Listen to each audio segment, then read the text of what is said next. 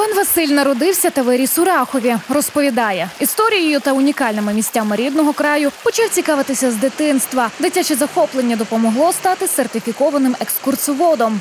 В Рахові дуже багато що є цікавого, тому що Рахів в самому центрі Карпат це перлина Гуцульщини, яка відкриває свої щирі обійми для всіх подорожуючих, дає можливість отримати е, масу задоволення саме тут у нас Карпатах, тому що е, на сході у нас Мараморозький хребет, на заході Свидовецький, на південному сході Чорногірський хребет. З Рахівського району є більше п'яти маршрутів на Говерлу, е, чотири маршрути на Мараморозький хребет з Рахівського району. е, 4-5 маршрутів є на Свидовецький хребет, і маршрути всі, можна сказати, починаються з Рахова.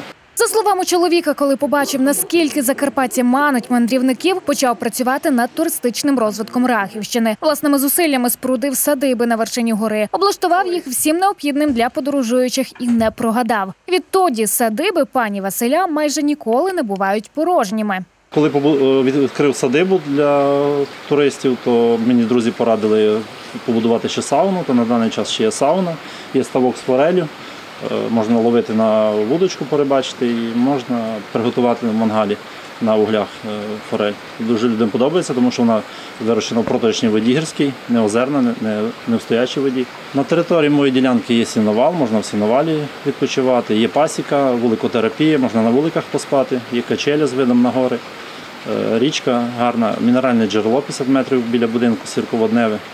Чоловік каже, відпочинок на Закарпатті назавжди залишається у пам'яті кожного туриста. За час своєї діяльності екскурсовода переконався, той, хто був тут один раз, обов'язково повернеться знову. Людям дуже подобається. І хто приїжджав сюди раз, то він каже, що е, дуже шкодують, що раніше не приїжджали, що тут дуже гарно на Рахівщині. І зараз буде сезон золотої осені, то так як у нас дуже гарні мішані ліси і е, ли- листяних дуже багато, то дуже людям подобається. Вони навіть не вірять, що такі барви, що то не намальовано, то дійсно жива природа.